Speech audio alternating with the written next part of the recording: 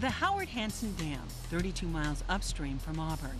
For almost five decades, it stood guard over the Green River Valley, protecting communities like Kent, Auburn, Renton, and Tukwila from the raging waters of the Green River.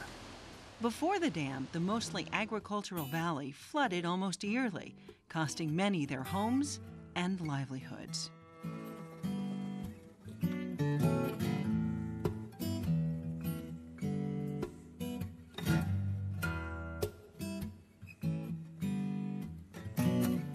But in 1962, the Army Corps of Engineers answered the demand for flood control.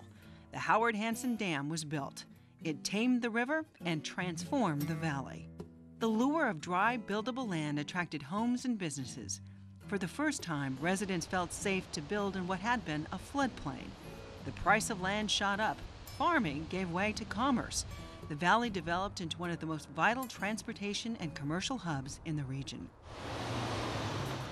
Groceries, furniture, clothing, airplanes, electronics, all now shipped and distributed from warehouses and factories in the Green River Valley. The Green River Valley is the largest manufacturing and distribution center in the entire state of Washington. The impact to our economy is just beyond most people's awareness. It also is a major center for jobs. Many, many people get up in the morning and drive to the valley to go to work. And also, it's a major transportation hub. It's a, a freight corridor. But now there's a significant threat to the dam and the entire Green River Valley. The hillside next to the Howard Hanson Dam is leaking. The Army Corps of Engineers discovered a depression, not in the dam itself, but in the earthen abutment it's built into. There are external signs that after the flood last January, that it is not stable. And those external signs were some sinkholes that appeared on the top and uh, water coming through, seeping through the landfill that was both faster, higher volumes, and they contained silt, meaning it was coming, eroding something somewhere.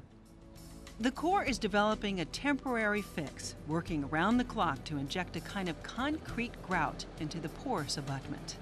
We're doing a grouting operations where we are constructing, constructing a grout wall 450 feet long, anywhere from 60 to 190 feet deep, and to be finally finished at 20 feet thick.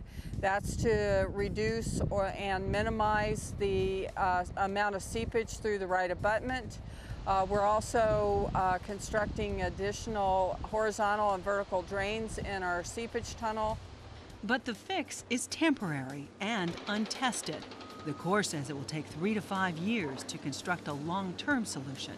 Meantime, the Corps says it will have to severely limit the water level behind the dam. The result? If there's a big storm like the one in 2009, more water could be pushed down the river than has been seen in decades. The potential for flooding is higher now than it has been in the last 50 years. It is a natural floodplain, and the only thing that makes it not right now is the dam, and to a smaller extent the levees, but mostly the dam. This could be one of the most significant events that could happen to King County, short of a major earthquake, um, in terms of its impact to people and its impact to property, uh, the risk to lives, and the risk to the economic health of the entire uh, region. Potentially, homes, highways, and rail lines could be inundated by floodwaters. Even homes and businesses that don't get wet could experience sewer backups and power outages. Transportation will be severely disrupted. King County is working to protect some of its facilities now, before the rains come. What can you do?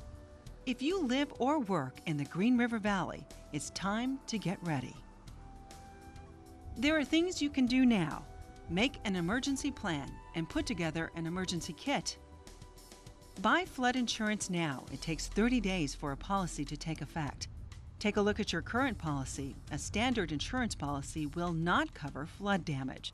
Also, get coverage for sewer backups. Standard homeowners policies do not cover this either. Buy an AM or NOAA weather radio with batteries in case of power outages. Monitor area news media for information if severe weather is predicted. It is potentially the King County version of Katrina, and uh, we are treating it like that. And we will be ready, and the cities will be ready, and the state will be ready. But the citizens also need to be ready.